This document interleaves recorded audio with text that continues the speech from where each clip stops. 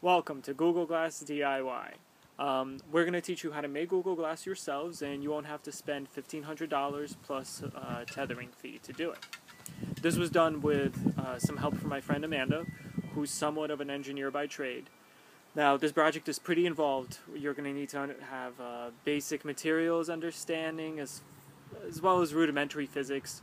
I'm going to put some links below. Um, they should get you up to speed or at least help you move forward. Now, um, before we, we begin this project, I want to show you how it actually works and what materials you need.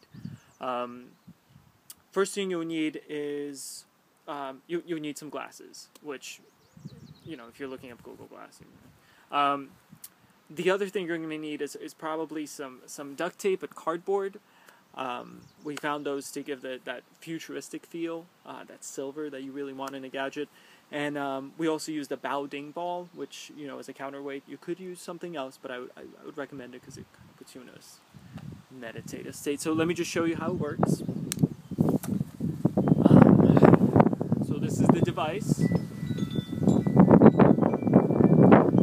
Just go ahead and uh, get it initiated here. So as you can see, the Baoding ball is placed in a satchel, if you will. Now, um, this can work with most devices. We're, we're actually going to use a, um, an iPod 5 for this. So, here you go. Let me just, I'll, uh, I'll switch to head view in a minute. Okay, here we go. Siri, can you, can you turn on the camera, please? Siri?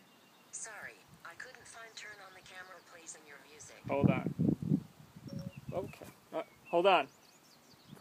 So um, here's how it basically works. Um, you just I'm gonna switch over to this right here, and uh, here we go. Easiest as pie. You could just hands free, you know, navigation, whatever, whatever you need, really. It's uh, it's pretty helpful. So thank you. I hope you enjoyed the video, and uh, have a great day.